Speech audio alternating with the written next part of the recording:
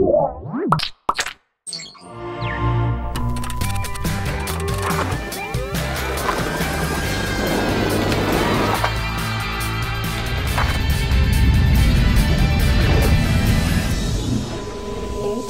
Nation. This episode of HD Nation is made possible by Belkin. Unleash your network. For those of you who have been following the epic saga of Robert Heron's home theater PC, C, C, C. When we last checked in, he was doing battle with Comcast. And when I say battle, I just mean waiting for the tech to show up and activate his new cable card for a Ceton Infinity TV in seat. Oh, I, you know. Ceton. Ceton. InfiniTV 4. Which is Blah, blah, blah. basically allowing you to record four channels of digital cable simultaneously on your home theater PC. That I'm doing. You've been waiting for this thing for like a year. Took a while to get it in. Apparently, I, I picked the one vendor who apparently was the most flooded with requests for the product, so it took some time doing. And then they had to get the cable guy to come over and properly light it up for me. And now you haven't touched your TiVo in like three weeks? I, I, I am pretty damn close to Video Nirvana. It, it has been about two weeks now since I disconnected the TiVo, and I still leave it plugged in so it gets its updates and stays working. But uh, I have made the switch over to my home theater PC running Windows 7, and uh, I, I got to say the ability to four record four channels at once is awesome. Uh, not so much for the fact that I actually need to record four channels Right. at once, but uh, for those times when I have, say, two recordings going on at once, I can enjoy another live channel. Uh, which is something that used to just bug the crap out of me with my TiVo. Like I, I have my season passes rolling away on Right. say two separate shows, and there's only two tuners. Oh, but the, the football game's on that night, and and I have to either stop a recording or something.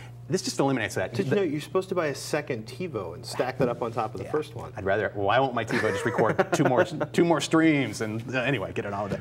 I'm also enjoying Windows 7's uh, Windows Media Center's HD interface that's built into Windows 7. This is basically what's driving my home theater software and the hardware. Uh, basically using that interface, it's just built right into Windows. I love the thumbnails next to my recorded programs. Uh, the channel guide list is updated for free. Now, that's really a big impetus for this whole thing. And it has some nice search sort features, like if I only want to see HD programs.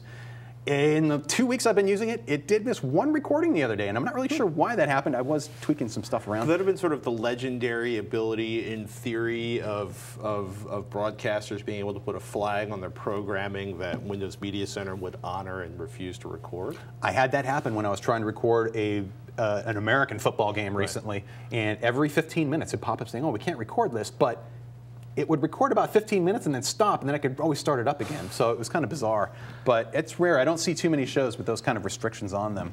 Uh, the next step for me really is Before we get to the next step, though, Oh, okay. I, there's a couple things we should talk about. One, you, a one of the things you said is you really like the Windows Media Center interface. We've we've enjoyed it. Tighter Blu-ray integration would be nice, right?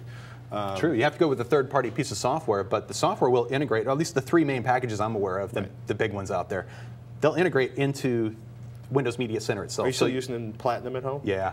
Total Media. I'd say Total Media Theater Extreme Platinum Super Their- Edition. I have their Platinum Edition, Right. which includes basically the, the full package gives you a nice software up converter for DVDs, which. Yeah. can look really good actually. Uh, but I end up, I, I started off with version three of the software, and now they have version five out for 3D support, Right. which I haven't upgraded to yet. But it, the software's 100 bucks, so for that Platinum version. So that wasn't that's. A, it starts to add up when you start putting all the software packages together. Well, the software seemed for a running things cheaper the way you want. when Blu-ray players were like five or eight hundred dollars, and now that they're a hundred bucks and you get them with a box of popcorn at Walmart, that's not seeming like such a bargain. Pretty amazing. How do you feel about? you- You've been running all of this on top of an Atom processor with the NVIDIA Ion GPU. How's it holding up? Because that, the reason I said in the opening that the almost ultimate home theaters, you've been making noises about building a more powerful system. Definitely. For what I'm doing, uh, for single task stuff, even up to recording four channels Right. at once, it's been solid. It, it really, it, no perceivable slowdowns or lag, but it's when I start to try to do other things on top of that. Like, say I have three or four recordings going on at once, and I want to stream a Blu ray movie in, Right. and blah, blah, blah. It can start to get, the menus start to slow down a bit, but I'm not like sacrificing quality of recordings or performance. It, it, it seems to, Windows Media Center seems to always say, you know what, we're going to make sure the video gets recorded properly, Right. and then we'll, make, then we'll take care of everything else. So That's for that, thing. I'm pretty good. Coming up with ways of controlling stuff, though, is the other thing I'm working on right now. Um, I'm using mostly Bluetooth devices, Mm-hmm. and I love it. And I'm also using a nice app on my phone from Hippo Remote uh, for that provides basically a Windows Media Center control, Windows 7 control. Actually, it'll also work with uh, Apple computers or Linux platforms. Pretty much anything you can install. Nice. The little software package that goes on the computer part, and then that allows me to tunnel right in over my Wi-Fi network and control very nicely uh, all of the software I'm using. So no latency issues. no- None. Actually, this is the best remote. My $700 smartphone is an awesome remote control. and, and the next part I'm messing with, and the reason you were, uh, I was talking about upgrading the CPU is for basically I found a great app called Remote Potato that one of the You want to viewers. stream everything you've recorded to your phone, don't you? Remote Potato allows me to tunnel right into my home theater PC, Mm-hmm. look at all my recordings, schedule recordings, look at the channel guide, start recording, and supposedly before the end of the year, I'll be able to then stream that content directly to my phone. Because Silverlight support currently isn't on the iPhone or on an Android platform. That's the problem I'm running into. And encoding, there's no really, there's no there's no GPU accelerated encoding that I'm seeing so far, at least, with my Silverlight software that I'm using for Remote Potato. So I have to usually select the lowest quality output when I'm streaming on the internet to, say, a computer. So, but if I had a faster CPU, I could bump up the quality, probably to full quality. And this is going to be really nice. So basically, anywhere in the world I am, as long as I can have internet access, have decent broadband speeds, Right. I'll be able to pull any of that content or start content. Like say I'm away and like, oh, I forgot to record the game. Start recording the game, and then a couple seconds later, I can start watching it.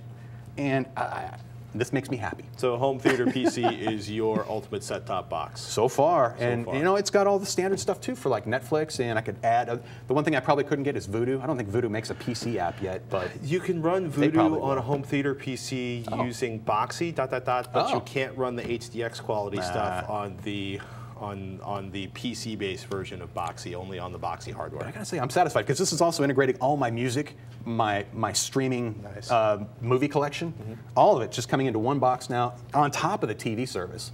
And, I, and it doesn't cost me anything other than the, the cost of a cable card, one cable card, which and the is really cost of the hardware you built up. that and the ha- cable TV subscription and building the hardware. how but much was that Ceton card? That Ceton tuner is four hundred dollars, and that's the single most expensive part in my computer. So it's probably you're probably about a thousand dollars. I think up in this thing I right think now. it could separate. The card is four hundred bucks, and the rest of the computer could be four hundred bucks. So it's like it's Or there you is a little an- outlay. An older, a, a, a not an older two, three, four year old PC with a decent, relatively recent GPU could actually replace. You could you could actually recycle an old PC. And, and get a Totally, pretty easy totally. And theater uh, we originally, I originally built this whole system for its efficiency and compact size. So those were the two overriding. Right. characteristics I wanted on the system. So I ended up sacrificing a little bit on the CPU side, but I was assuming that GPU acceleration would be everywhere, but apparently it's. It's taking its time to be deployed in every nook and, nook and cranny. But for the Flash stuff, it's great. But it just so happens that one app Right. I'm using, Remote Potato, I think it's remotepotato.com. You can, you can Google it.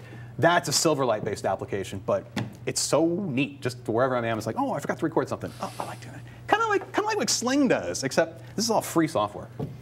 It makes him happy. Time for the new Blu-ray releases for the week of December seventh, two thousand and ten. First up, Inception. The Dark Knight director Christopher Nolan brings us this trippy film about dreams and the subconscious. Inspired by movies like The Matrix, Dark City, and Memento, Nolan began working on the script nearly 10 years before the film's eventual release in theaters. This release is also available as a limited edition briefcase gift set exclusively from the WB shop, but it seems they've sold out already through pre orders and they say no more will be available. Oh. So we've missed the boat on that one, but you can still get the regular Blu ray release, which comes with a DVD and a digital copy as well. Speaking of surreal, next up is the Criterion Collection's Videodrome. From director David Cronenberg, this film takes place in Toronto in the mid 80s and tells the story of a cable station CEO who finds a broadcast signal that does crazy, messed up things to everyone who watches it. Rotten Tomatoes described it as visually audacious, disorienting, and just plain weird. So if you're in the mood for a mind trip and you somehow missed it until now, check it out. Last year, there were rumors swirling of a potential remake, but it's been a good 18 months since that news with no other updates, so take it with a grain of salt. Also released this week, Rush Hour. We've already seen Rush Hour 3 on Blu ray, and while Rush Hour 2 is nowhere to be seen, this week sees the release of the original. This 1998 buddy cop film follows two polar opposites who have to work together to solve crimes. While the plot isn't exactly original, Jackie Chan and Chris Tucker make this a fun film to watch regardless. This Blu ray release includes some additional scenes, music videos, and director Brett Ratner's student film from NYU titled Whatever Happened to Mason Reese from 1990. Other releases this week include The 2010 World Series film, Texas Rangers versus San Francisco Giants. Barry Munday. Across the Line, The Exodus of Charlie Wright. Tim Burton's Alice in Wonderland has been available on 3D with Sony TVs, and now it's being released on its own. Attack on Pearl Harbor, 70th Commemorative Edition. Beyonce, I Am World Tour. The Criterion Collection's Cronos. Harpoon, Whale Watching Massacre. Uh, pardon my French, but Legame. Lost in Translation. Mademoiselle Chambon.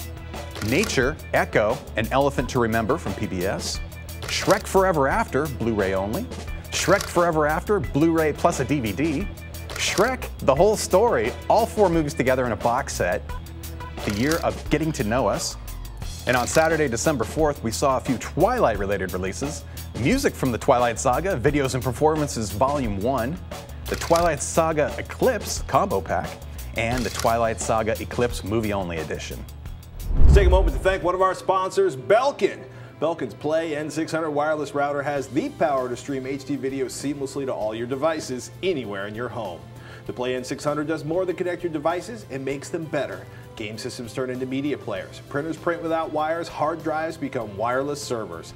It even finishes downloading large files to a hard drive at home after you've shut down your computer or taken it with you. Learn more at belkin.com slash unleash.